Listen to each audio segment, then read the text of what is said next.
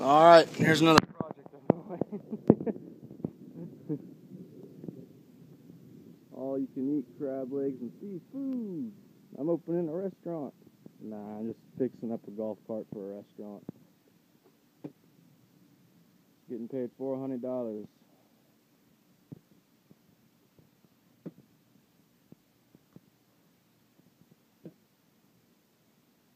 Yeah, it's a nice little, well, not little, but it's a nice golf cart for sure. the engine needs to be completely replaced. Uh, they were driving it. Actually, starting to rain. I'm just gonna sit right in the golf cart. Actually, it's got a roof. But uh, yeah. Uh, they were driving it to the Christmas parade on in December of last year, and uh, uh, guy who was driving it said that the uh, engine started making some awful noises and started shaking real bad. And uh, he pulled it over immediately. And uh, one of my friends who works there recommended me to work on it. And next thing I know, I'm I'm driving over to the Sandbar restaurant, and they're telling me what all they think is wrong with it and everything. And I took a look at it, and uh, sure enough, something ain't right. Uh, came back a few days later with a long trailer to pick this thing up, and uh, the engine actually would start it up since, for the first time since December. I mean, it started right up, no problem, and we wanted to drive around, but it was just so noisy and awful, nasty sounding, and so yeah right when I was loading up the trailer, I had it put push punched in full throttle. Daniel's pushing up the back while the back tires are spinning because the damn golf cart bottomed out. But it was we were slowly inching it forward, and all of a sudden there's a loud bang. Engine completely seized up. Clutch went flying right off the crankshaft. It's a mess. Oil is pouring out the bottom. I still got some parts left over from it. We got some metal chunklets in there. More metal chunklets in there. If you look in the very back here, you'll see two big old holes in the motor. I know there's another one right in the bottom. I gotta find it. I'm gonna try and pull this motor out, which actually I gotta lift up. Oh, I got my sockets in the rain, dang it. Yeah, I gotta, uh, I gotta lift up the side of the golf of the golf cart here to actually get a good look. So I'm gonna winch it up with the bad boy buggy.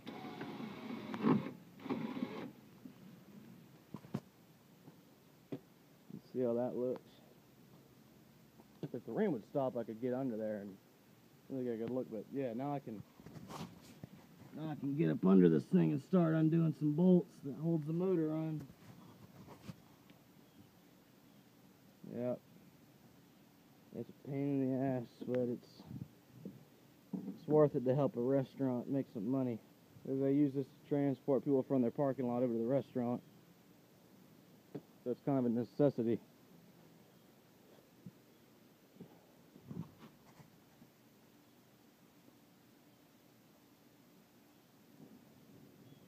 It's a long one.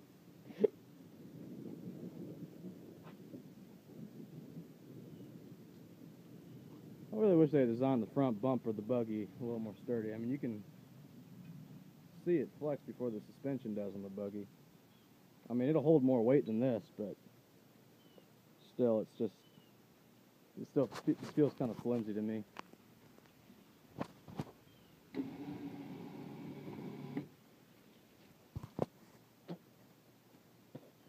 I just let it back down so it don't stress nothing. Yeah, when I gotta when the rain stops and I get the chance to get under there. I can get a look. But anyway, yeah, we, we're ordering a brand new engine. This is an FE350. We're actually ordering an FE400.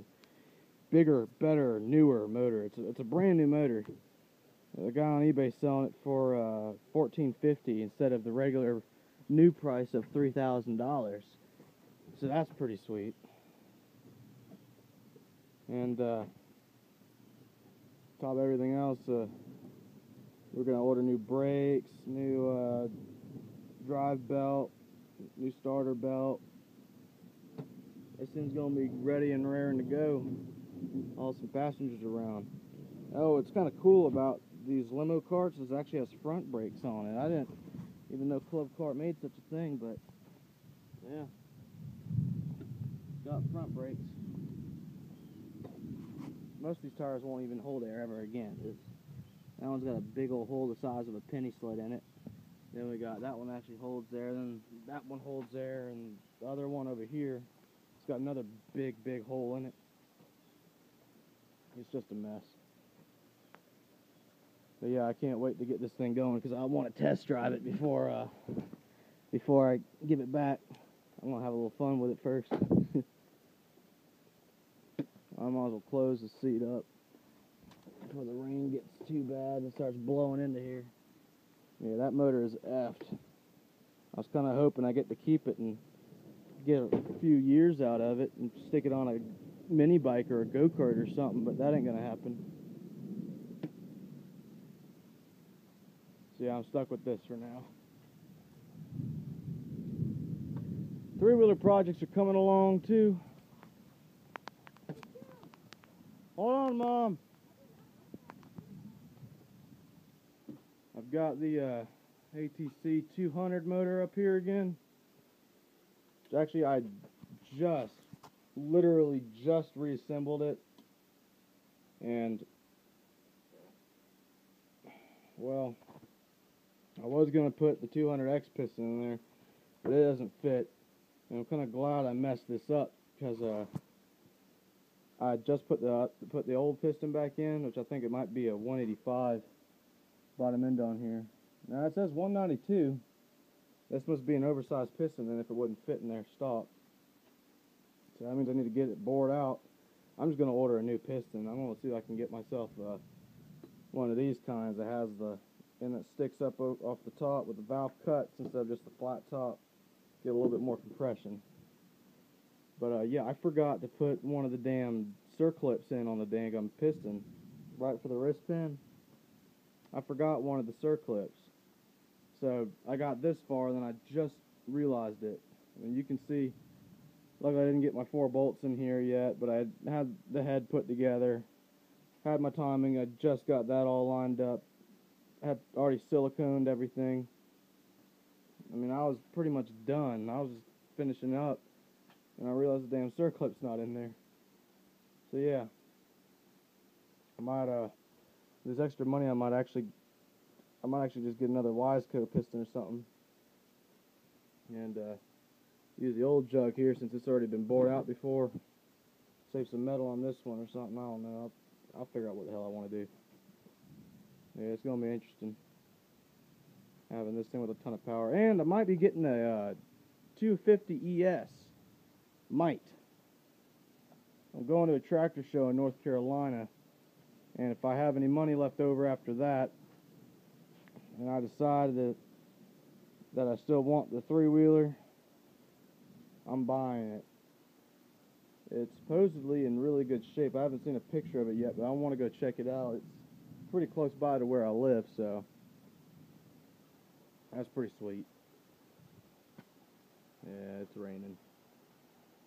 Uh, I'm going to shut this video down and upload it before it gets too rainy.